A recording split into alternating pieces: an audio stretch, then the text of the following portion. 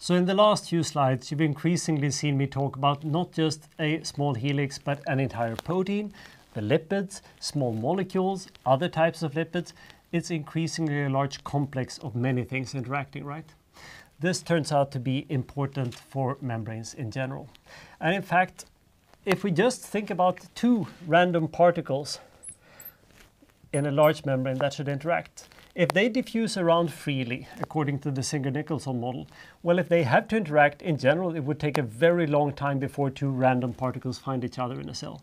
It would be much more convenient if I could somehow group them together and force them to be close to each other.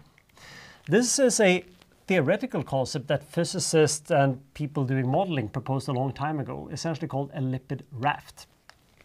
So the idea with the lipid raft is roughly using many of the things that I brought up here, that what if I had a domain in a membrane that was not quite as fluid as the fluid mosaic model, but maybe having excess cholesterol and others here, stiffen it up so that proteins here don't really diffuse so much relative to each other.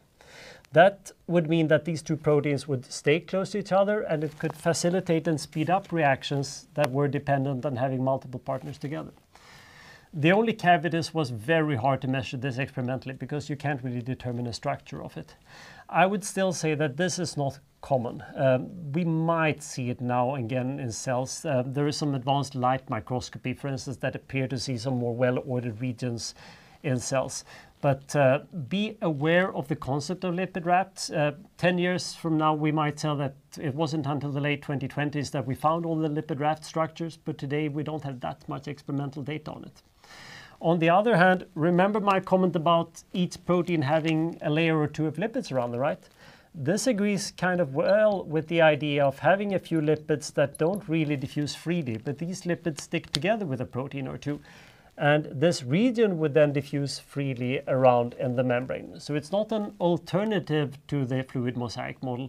It's more of a modification that we might have locally more rigid regions that diffuse together in the large sea of the remaining lipids.